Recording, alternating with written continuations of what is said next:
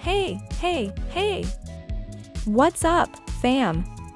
Welcome back to our channel, where we're about to spill all the tea on one of the hottest babes on the gram, the fabulous Ashley Carolina.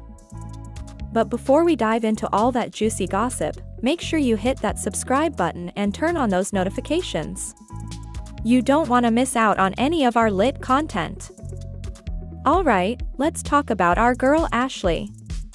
Hailing all the way from Mexico, this bombshell was born on January 12, making her a total Capricorn queen. Now, if you haven't already seen her strutting her stuff on the runway or slaying those bikini shoots, where have you been? Ashley is the definition of fierce, and she's not afraid to show it. And let's talk business, baby. Ashley's been rubbing elbows with some major players in the industry. From fashion brands to beauty moguls, she's got him all on speed dial. But don't let those flawless selfies fool you, Ashley's not just about the gram. With over 1.2 million followers, she's a bona fide influencer, and she's not slowing down anytime soon.